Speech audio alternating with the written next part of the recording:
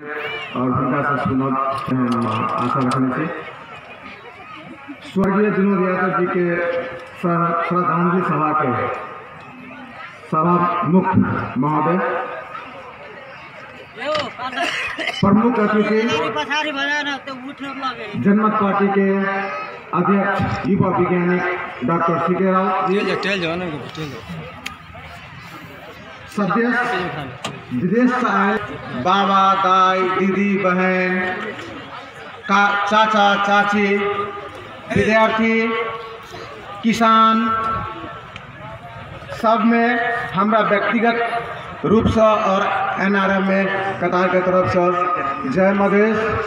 जय जनमत के अभिवादन।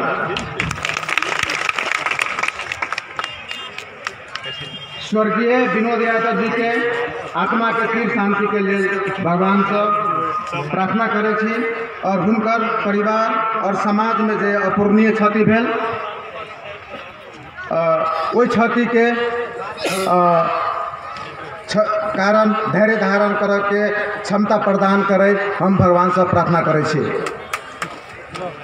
हम एक गैर आवासीय मवेशी छी, जे मधेश से बाहर रहल छी, विभिन्न अपन काम और जीवन जीविका चलाबे के लागी। सबसे पहले हम कुछ गैर आवासीय मधेसी संघ एन आर एम ए के बारे में कुछ दू शब्द कह चाहे शायद अपने सब जानते होबे, फिर भी कुछ जे गैर आवासीय मधेसी संघ छै, ओहिके बारे में कुछ हम छोट परिचय दिए चाहे गैर आवासीय मधेसी संघ, प्रदेश में मधेसियों का दुख सुख के साथी। गैर आवासीय मधेसी संघ जो छै, जे प्रदेश में रह वाला जते भी मधेसी है चाहे वो कोनो देश में हो ओकरा सबके दुख सुख के लेल हम सब हर वक्त दुख सुख में साथ देवे के लागे हम सब हर वक्त तत्पर रहे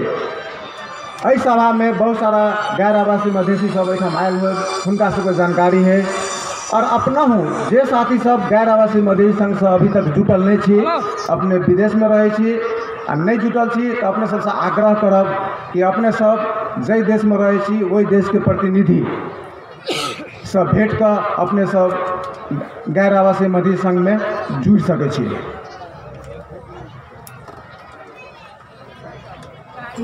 गैर आवासीय मधेसी संघ, प्रदेश में रह वाला मधेसी सबके एक छाता संगठन छै देश के हित के लागी काम करे कानूनी रूप से गैर आवासीय मधेसी संघ अमेरिका में दर्ता भेल छै। प्रदेश में रह वाला मधेसी के संगठित करनाई आवश्यक सेवा सुविधा प्रदान करनाई मुसीबत के घड़ी में सहयोग करनाई एक दोसर से सहकार्य करनाई, एक दोसर के सहारा बन के वातावरण बननाई, विभिन्न सामाजिक कार्यक्रम आयोजना करनाई, तथा होली, छठ, माघे संक्रांति, ईद आदि जैसन सांस्कृतिक कार्यक्रम विदेश में आयोजित करनाई गैर आवासीय संघ के प्रमुख उद्देश्य है ताकि प्रदेश में रहियो का जे मधेसी भाई सब छथिन, हुनका सबके हम प्रदेश में छी ओहन हुनका सबके अनुभव नहीं होय। हुनका सबके हम सब मधेश में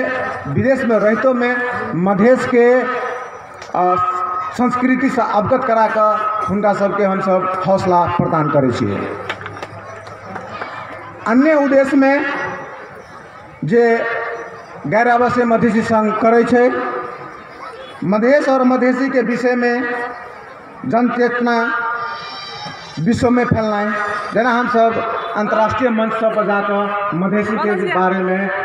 विश्व के अवगत अवगत करबै छियै कि हम सब मधेसी छी नेपाल में छी लेकिन हम सब मधेसी छी। हम सब हम सब इंडिया से और बिहार से नहीं आयल छी। हम सब अपने हमरा सबके अपने पहचान है। हम सब दुनिया के अवगत अवगत करबै छियै कि हम नेपालो में हम सब जे करीब मधेश नेपाल के फिफ्टी परसेंट पॉपुलेशन मधेसी है और वो नेपाल में रहे मधेसी के समस्या के बारे में अंतर्राष्ट्रीय रूप में